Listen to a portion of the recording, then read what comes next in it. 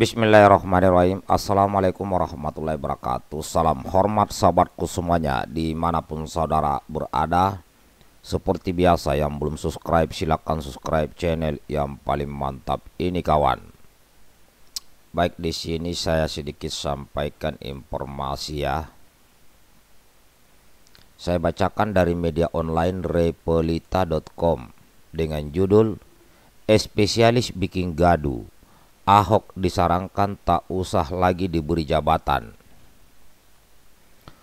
Komisaris Utama Pertamina Basuki Cahaya Purnama alias Ahok acap kali membuat kegaduhan di ruang publik yang sejatinya sama sekali tidak perlu.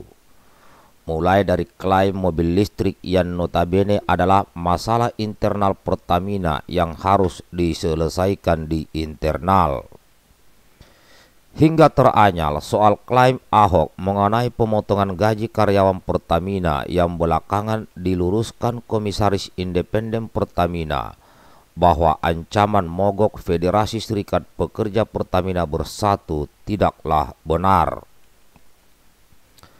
Menanggapi hal itu, anggota Komisi 7 DPR RI Mulyanto menyesalkan arogansi mantan Gubernur DKI Jakarta itu yang kerap kali membawa persoalan ke ruang publik hingga menjadi gaduh.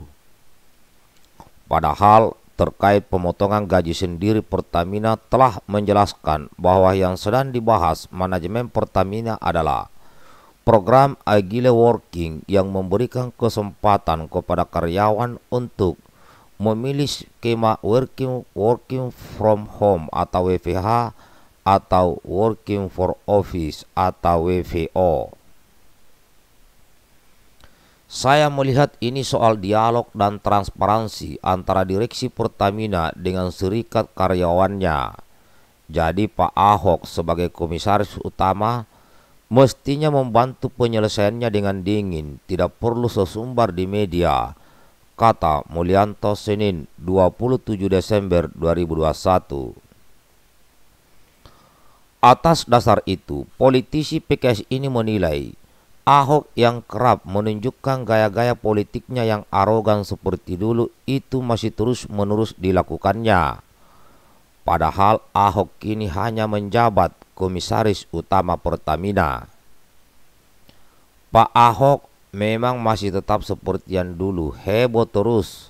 Sesalnya, Sementara itu, Direktur Eksekutif Indonesia Political Opinion atau IPO Deddy Kurnia menilai pernyataan-pernyataan yang dilontarkan Ahok ke ruang publik bukanlah malah membuat persoalan menjadi selesai. Kata Dedi yang terjadi justru sebaliknya. Selama Ahok di Pertamina, persoalan yang di perusahaan plat merah tersebut semakin menjadi-jadi termasuk statement terkait ancaman mogok dan gaji karyawan. Bagi Pertamina, persoalan ini bukan kali pertama dan selalu dapat diselesaikan. Tetapi saat ada Ahok justru terlihat semakin rumit. Bahkan sesama elit di Pertamina terjadi kekisruhan, kata Dedi Kurnia. Atas dasar itu, Dedi menyarankan agar Menteri Menteri Negara BUMN Erick Thohir untuk mempertimbangkan agar politisi PDIP itu dicopot dari jabatannya di Pertamina. Sebab menurutnya Ahok hanya membuat gaduh tanpa solusi untuk perbaikan perusahaan plat merah seperti Pertamina. Erick Thohir layak mempertimbangkan pencopotan Ahok tidak perlu khawatir siapa yang berada di balik BTP. Selama tidak menghasilkan performa yang baik bagi Pertamina, Ahok tidak diragukan lagi untuk dikeluarkan. Pungkasnya,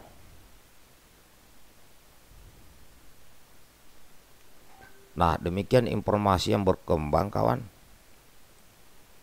Ya terkait masalah rencana mogoknya ini serikat ya. Pertamina.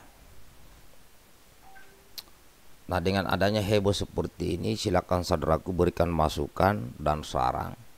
Namun di sini saya ingatkan agar tetap ya menjaga jangan menulis status yang bersifat kebencian, hinaan, cacian, makian, merendahkan maupun meremeh, meremehkan. Ya kan? Memang di sini harusnya kedatangan Pak Ahok di Pertamina, apalagi sebagai komisaris utama, seharusnya bisa mendinginkan suasana.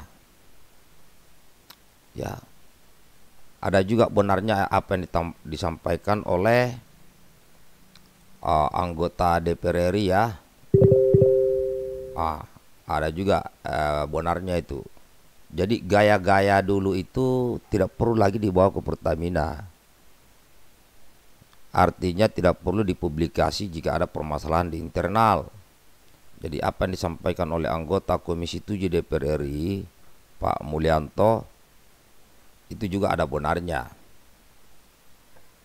Jadi permasalahan internal Pertamina biar selesai di uh, internal Pertamina. Apalagi Pertamina ini masih plat merah. Nah, kenapa status plat merah? Harusnya kan harus bisa keluar dari status plat merah ini. Tapi kita belum tahu bagaimana pertimbangannya. Di Pertamina ini kok bisa plat merah? Apakah biaya operasional itu lebih besar daripada pemasukan? Ataukah karyawannya lebih banyak tapi tidak efektif ini belum kita tahu bersama. Tapi yang jelas kalau plat merah begini kan berarti kan kurang mantap. Harusnya ya plat putih lah. Ya kalau putih kan berarti untung lah itu atau ya apalah istilahnya itu. Kalau dibilang merah itu kan berarti kurang. Ya apalagi di sekelas BUMN jadi apakah karena mungkin harusnya pekerjaan itu bisa dikerjakan dua orang tapi di situ mungkin ada tiga orang atau empat orang akhirnya biaya operasional lebih besar Jadi ini malah tidak sehat ya kalau plat merah. Seharusnya Pertamina jangan plat merah lah. Nah, yang internalnya kinerja kinerja harus ditingkatkan. Karena kalau plat merah, terus apa untungnya? Jangan-jangan malah disubsidi terus oleh negara yang seharusnya itu BUMN menghasilkan untuk negara. Ya, kita lihat aja ke depan kawan bagaimana penyelesaiannya di Pertamina ini. Mudah-mudahan Pertamina semakin jaya, semakin maju untuk negeri. Ya. Itu aja kawan, tetap semangat. Salam hormat buat semuanya. Sekali lagi bagi yang ingin menyampaikan sesuatu di kolom video eh, video ini ya saya berpesan agar menghindari kata-kata kebencian, hinaan, cacian, makian, merendahkan maupun meremehkan. Mereka NKRI harga mati.